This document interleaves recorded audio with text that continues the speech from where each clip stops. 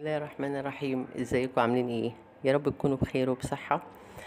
آه، في الفيديو ده أنا هتكلم في حاجة مهمة قوي وهي إن في ناس كتير بتسألني إحنا مش لاقيين التجربة هي فين تجربتك؟ هي مش عارفة إيه.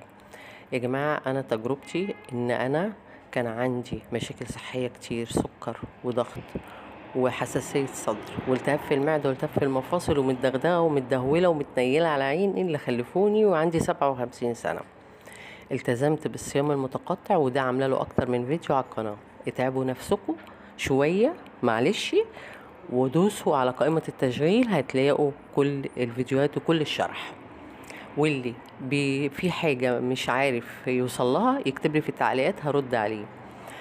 ست شهور صعب جدا جدا جدا. العلاج صعب جدا جدا. ليه؟ لأن إحنا فجأة بنحرم نفسنا من كل الأكل اللي إحنا متعودين عليه وبناكل حاجات ما ترفعش الأنسولين. وده أنا برضو شرحه في الفيديوهات في قائمة التشغيل.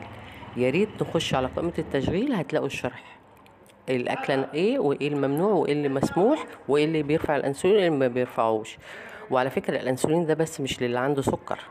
الأنسولين ده أساسي في كل الأمراض. لو عالي الأمراض بتحصل بيحصل مقاومة أنسولين بيحصل مشاكل صحية كتير قوي قوي قوي وعلاج. مقاومة الأنسولين هو الجوع الجوع إن إحنا نجوع عشان جسمنا يتخلص من السموم. نوصل لمرحلة الالتهام الذاتي وما نرفعش الأنسولين هنشفى وهنبقى زي الفل وكأننا بنتولد من أول وجديد. عايزين إيه؟ أكتر من كده. اللي مش عاجبه بقى الحكاية ومستصعبها قوي؟ خلاص هو حر يكمل حياته بالطريقة اللي تعجبه لكن هي دي تجربتي. هي دي تجربتي هو ده اللي أنا عملته إن أنا عشت ست شهور في حالة صعبة جدا.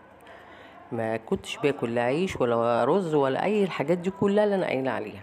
وأشوفكم على خير يا رب بصحة وعافية في فيديو جديد ويا ريت تخشوا على قائمة التشغيل هتلاقوا فيها كل حاجة وأنا بصور